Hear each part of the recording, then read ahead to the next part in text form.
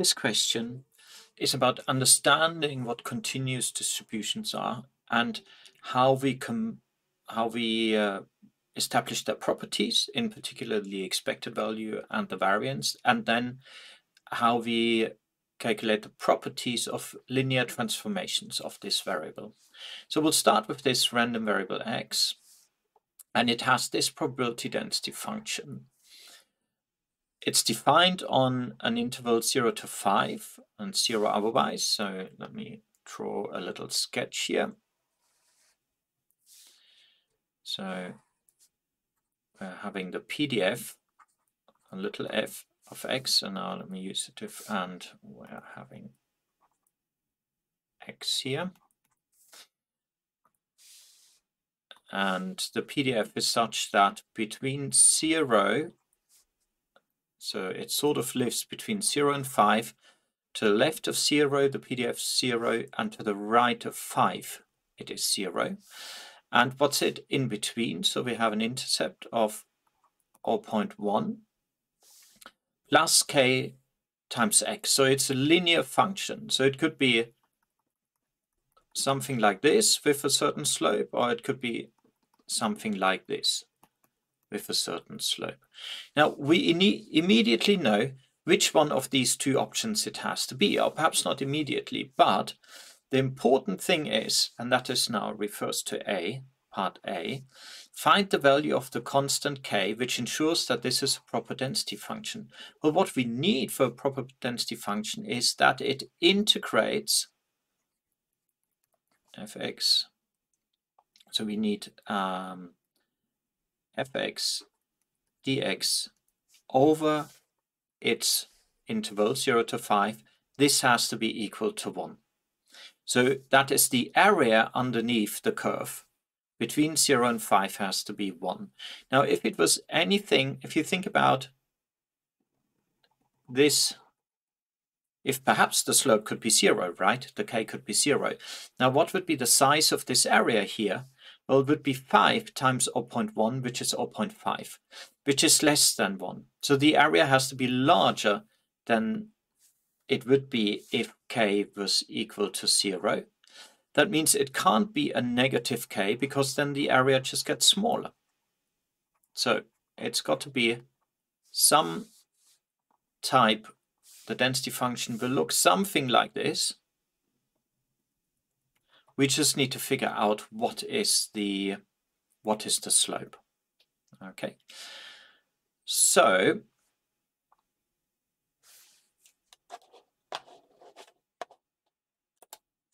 you could sort of work this out by just geometry. We know that the size of this area here is 0.5. So you sort of need to find an triangle with the base of 5 and an area of 0.5 as well. Right? So this area has to be 0.5 here as well.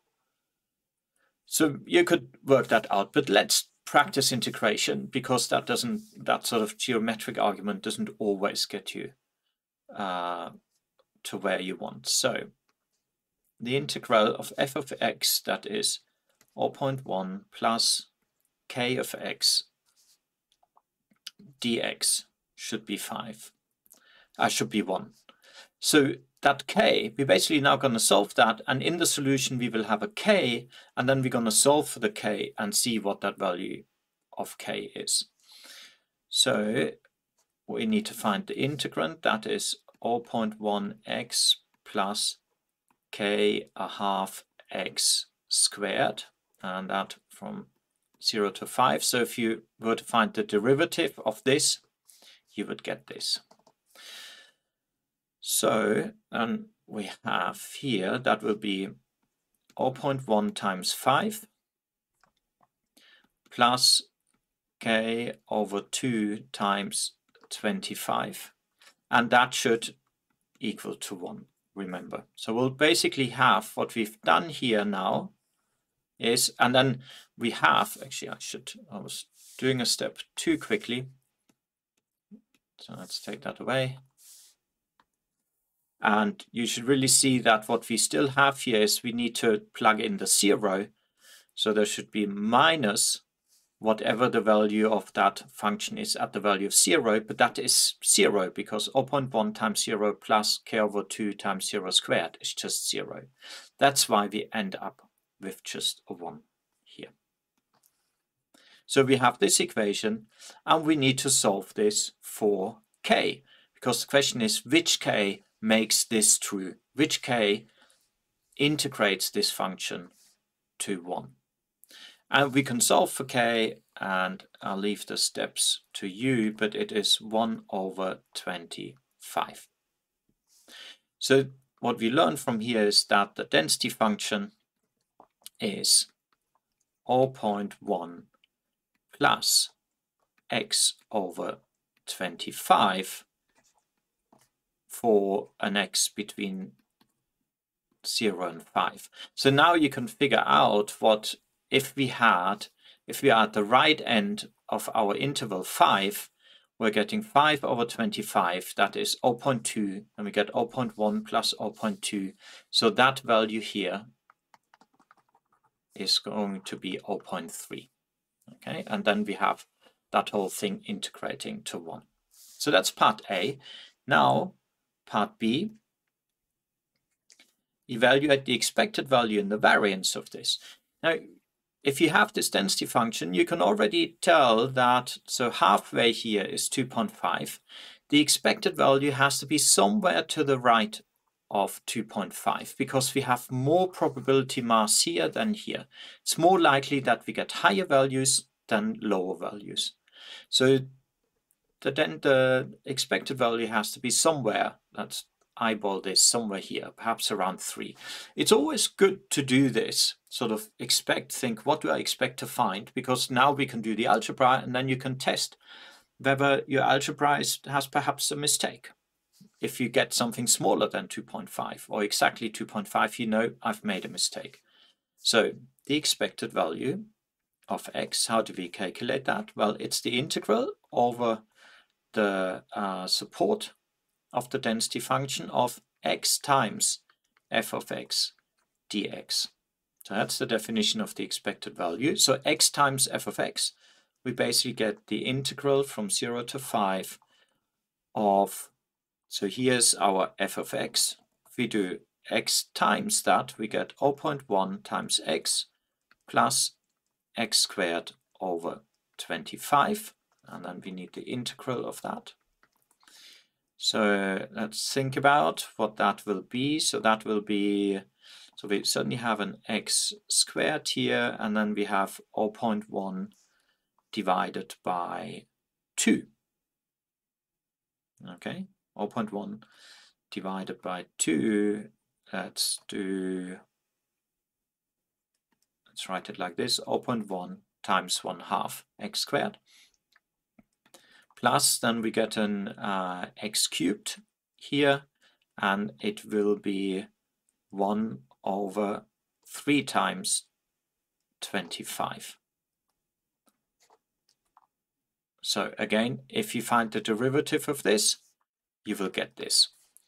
So and that is evaluated at 0 and 5. So now we just got to plug in the 5 and then minus 0, but again we'll see once we plug in the zero, we just get zero. So we just plug in the five.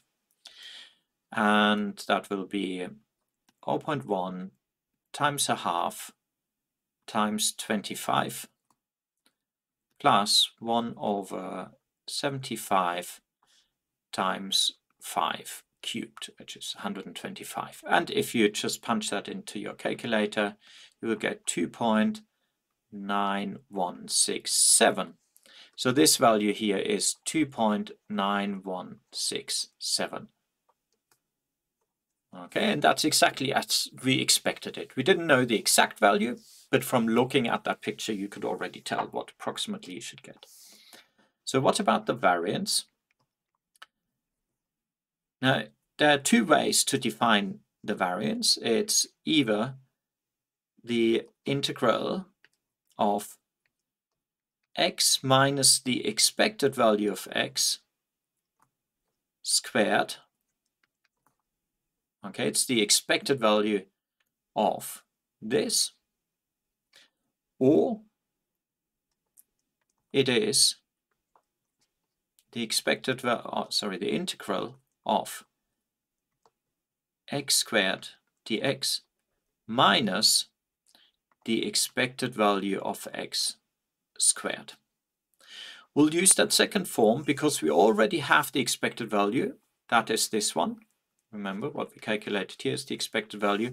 That means we just got to calculate this somewhat simpler integral here rather than this one. So that is going to be, let's uh, calculate that here we'll just complete that. So we know we need a value here and then minus 2.9167 squared. So we're after this value so we are after the integral from 0 to 5 of x squared fx. Sorry, I forgot the fx.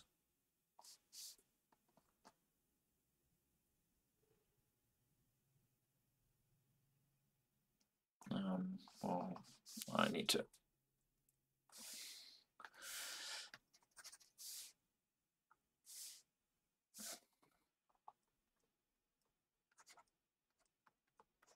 Here we go. Okay, so so x squared f of x dx. So x squared times f of x, here's our fx. So we'll get 0.1 x squared plus x cubed over 25.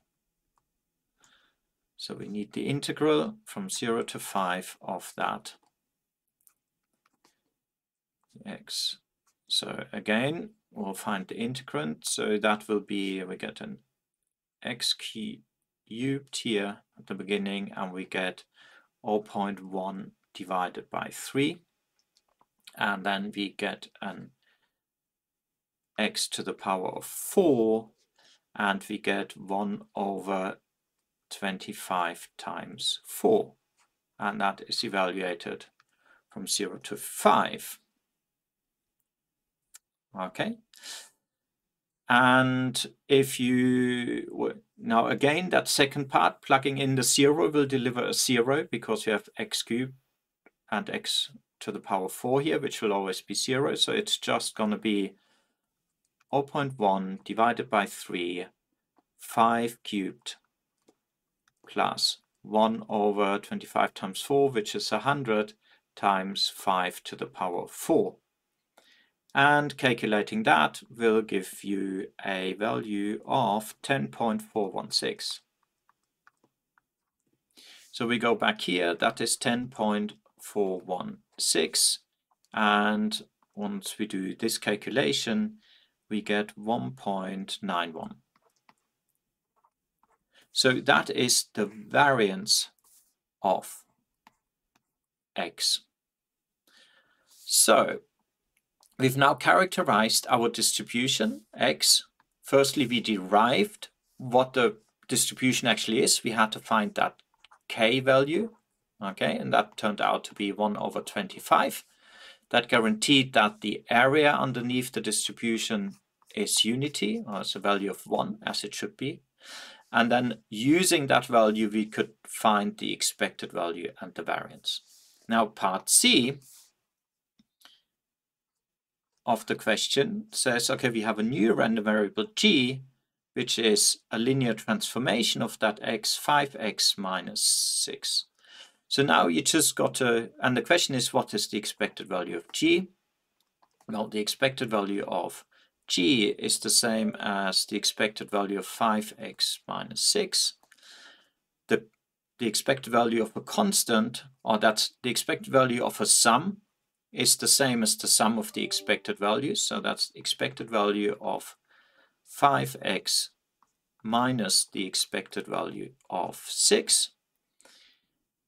The expected value of 6, that's just a constant, so that is minus 6. Expected value of 5x is the same as 5 times the expected value of x, because a constant factor we can bring outside of the expectations operator and the expected value of x is of course just 2.9167. So when you calculate that, you will get 8.6. And then the next question is, what is the variance? Let me just give myself a bit more space here. What is the variance of G? Well, that's the variance of 5x minus 6. Now, the variance of a sum where one of the summand is a constant, this here is a constant, is going to be the same as just the random part, the variance of the random part. And we can bring this constant factor outside, but we have to take this to the power of 2. Okay, so that will be 5 squared times the variance of x. And once you calculate that, you get 47.75. Okay, now of course we've been asked for the standard deviation and the standard deviation, so we could write that as the standard deviation of x or perhaps sigma of x, that is just the square root of the variance. That's the square root of 47.75 and that is 6.91. So part D works in the same manner, just has one slight twist. So H is equal to 5 minus 6x.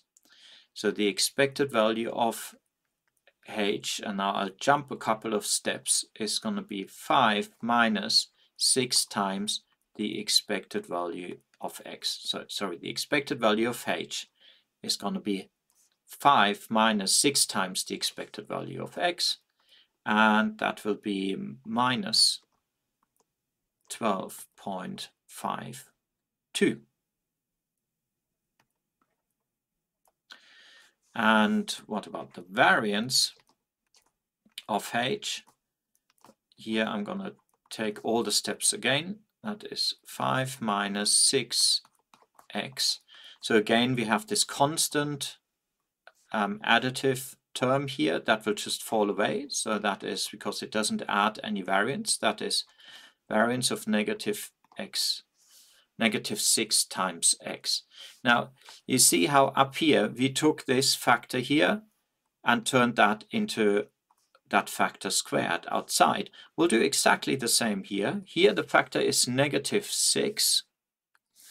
So we'll take that outside, negative 6, and we square it times the variance of x. This is, of course, negative 6 squared is 36 times the variance of x. And that will just be 68.76. Now, um, I'm, I've been somewhat sloppy. We are, we are always advising you to round to four digits. Now, my solution, I haven't. Uh, if I did a test, I may well lose marks here. So uh, please always write down solutions to two to four decimal points. And now we are asked for the standard deviation. Standard deviation of x is going to be the square root of 68.76, which is 8.29. Okay, so the trick here was, or what, what was sort of different to the previous term here is, in our definition, the x turned in with a negative factor. It was negative 6 times x. And that showed in the expected value, because all of a sudden we had a negative expected value, but the variance cannot be negative. Variance by definition is an expected value of squared terms. So here we need um, uh, we take that factor out and once we scale squared it will be positive. Now that of course reminds me that I let me use different color. I already corrected earlier I corrected this term I forgot the f of x. I forgot the f of x here uh, here as well uh, in the definition of the variance so that should be an f of x in here. We didn't use this definition so it didn't have any consequence here. um, but there was an f of x in here. Okay,